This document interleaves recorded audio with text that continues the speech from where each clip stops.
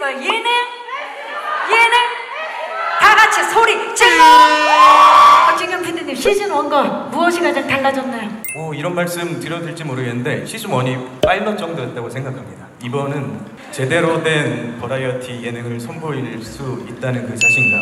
이번이 본 게임이다 13개국에서 1등 했다고 했는데 이번엔 예. 10배 정도 재밌어서 한 130개국에서 1등을 노리고 있습니다. 책임지실 수 있는 말씀.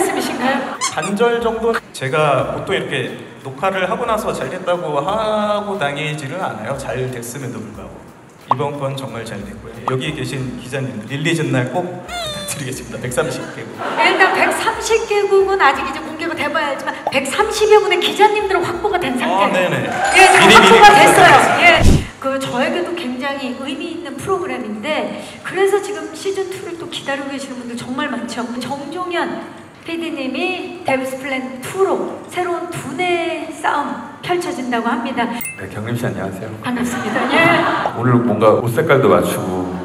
너무 반갑네요. 넷플릭스 컬러로 예. 저희가 원래 이제 시즌 1 때는 12명으로 했는데 사람이 좀 더 필요하겠다 해서 14명으로 꾸리게 되었고요. 네, 저희는 사실은 녹화를 준비하고 있거든요. 그래서 진짜 어떻게 될지 모르겠어갖고 후배 PD가 네, 점을 봤는데 재밌게 잘 나올 거라고 네, 정말 예능 PD님들 다운 아주 유쾌한 그 이야기였습니다.